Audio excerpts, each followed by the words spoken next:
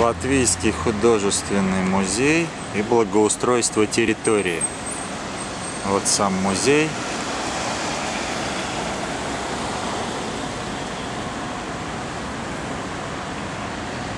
Там улица довольно оживленная. Итак, смотрим на благоустройство территории. Вот здесь стоянка для работников музея. Она небольшая, такая аккуратно сделанная. На мой взгляд, это хорошо и правильно. Везде новая плиточка. Здесь из натурального камня. Ну и идем дальше. Вот тут вот памятник э, художнику-живописцу Ян, Янису Розенталу. Янис Розентал был знаменит тем, что это первый латышский художник и главный вдохновитель латышской национальной живописи. Вот ему тут памятник такой небольшой у художественного музея. Ну и тут газончик, скамейки, да, ну как-то вот цветочков не хватает. Согласитесь.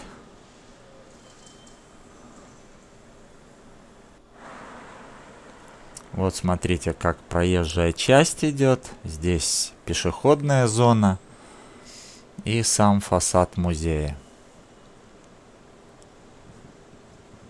В античном стиле оформлено. Не барокко. Но пустынно, не хватает клумб, цветочков. Это как бы минус, на мой взгляд. И сама улица рядом довольно шумная. Это Крыщина Валдемара. А вот теперь я уже во дворе. И вот это такой лифт для машин. Это построили после реконструкции. Там сделали большое подземное помещение, хранилище. И вот сюда заезжают машины, спускаются туда, и можно там привозить увозить всякие грузы.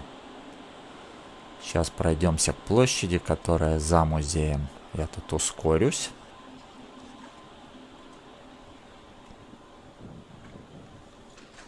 Смотрим тут кафе с одной стороны, с другой стороны такая длинная скамейка. И все забетонировано. В общем-то сейчас немножко тут мрачно, но вообще красиво. И самое интересное, что здесь во дворе, это вот такое, ну как бы смотровой пол. Там внизу выставка. Вот напротив, кстати, это Министерство обороны у наше. вот эти два здания. Министерство обороны, а там просто новое офисное здание. Сам музей. Плохо, что выкрасили в один цвет. Из-за этого как-то он серо и не торжественно смотрится.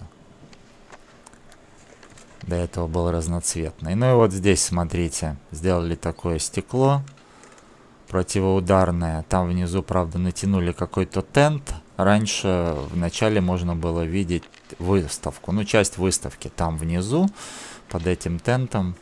Большое помещение, в общем-то, и проходят выставки, ну, сменные экспозиции. Ну, сам парк, гостиница Редисон Латвия, Редисон Блу.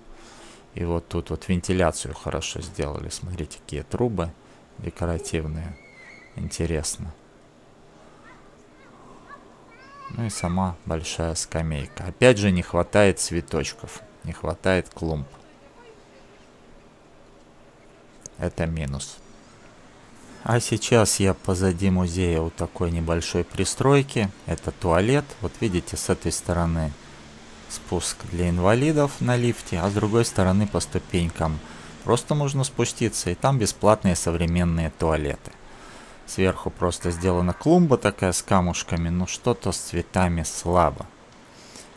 А вот э, сам музей, третий этаж, сделали прозрачным, там сделали чердак, дополнительную выставку, а на четвертом этаже можно выйти на крышу, гулять, смотреть город сверху. Это очень хорошо, это правильно все сделано. Ну и вот здесь вокруг парк, там ручеек течет. Ну, ручеек это не кто-то написал, это из краника, там сбоку кран можно открывать, вода течет. Парк ничего особенного, но приятный. Вот видите, патрулирует полиция. Ну и будучи в Риге 2-3 дня или больше, обязательно посетите этот музей, Латвийский национальный художественный музей. Вход недорогой, экспозиция интересная. Всего доброго, до новых встреч!